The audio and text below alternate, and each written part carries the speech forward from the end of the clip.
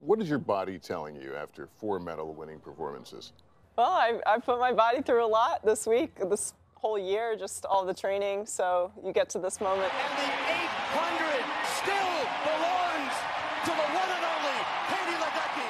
You try to put it all out there, and I feel like I did a good job of that. She sure did. Katie Ledecky won four medals here in Paris, bringing her grand total to 14. She's also made history. With her win in the 800 meter freestyle, she became the first woman to win four medals in the same individual event, and she's now officially the most decorated female American Olympian of all time in any sport.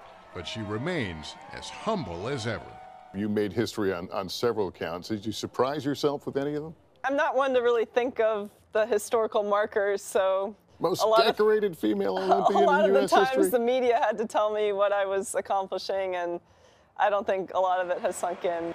First woman in history to win four Olympic golds in the same event.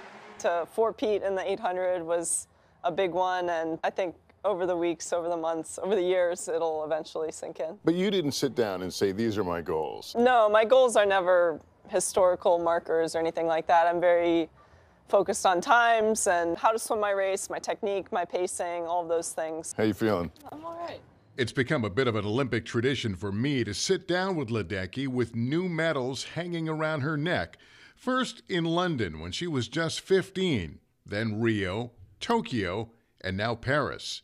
And as for the next one, And this is the part of the interview where I say, are you going to be in Los Angeles in four years? I'd love to be. I'll, I'll definitely be there in some capacity. I, at this point, would love to be swimming there. If I'm still loving the sport, I'm going to continue on as long as I can.